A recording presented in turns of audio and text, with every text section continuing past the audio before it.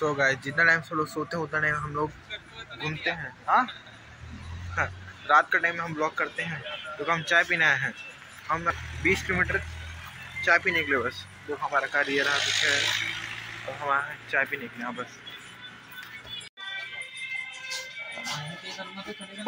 तो